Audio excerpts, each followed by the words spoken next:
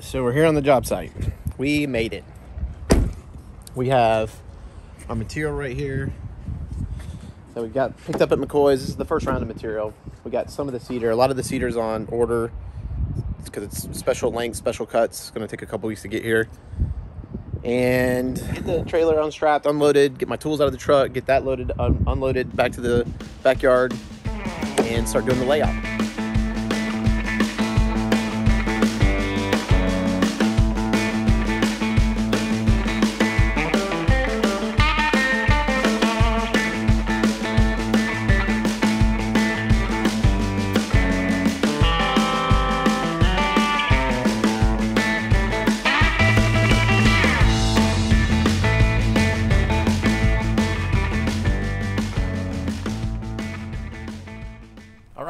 Tools are unloaded.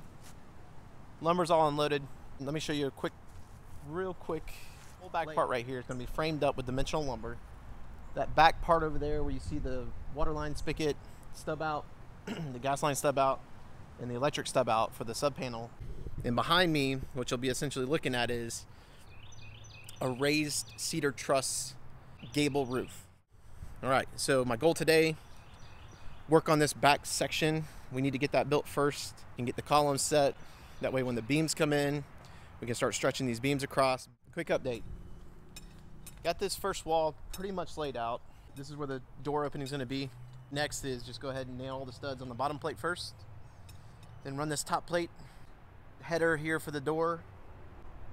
And gonna go lift it, lift it up, brace it,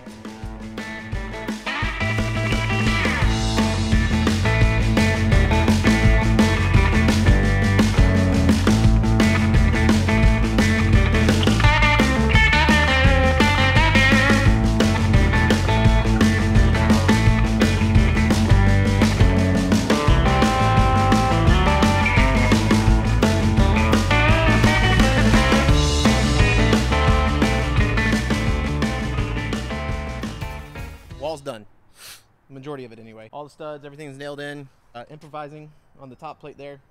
Don't like doing that when I know I can make a complete run with a longer board.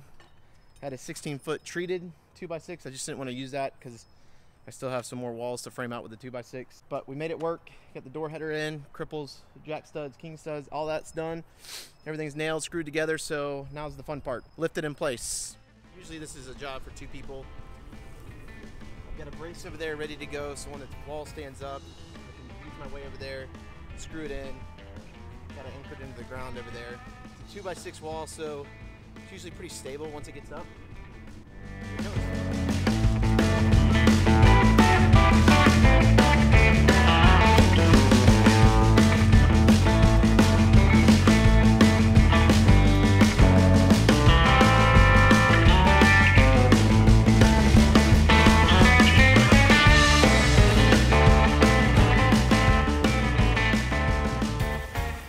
Start wrapping up for the day.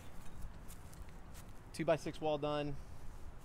I got these two inside walls for the uh, storage room, all framed up. Everything's attached. I haven't anchored anything down yet. We're still braced up. It'll be good for. I'm gonna put one anchor in it just to keep it down for the evening. But you can see kind of up there why I left that down. It's for my two by ten beam that's gonna run across there to that column over there. The same thing, I left the bottom plate open. Gonna be two studs down there to to catch that beam going across. So again, this is gonna be all open under here. Good progress for the day. Happy. Get back at it tomorrow. Get the rest of the walls framed up.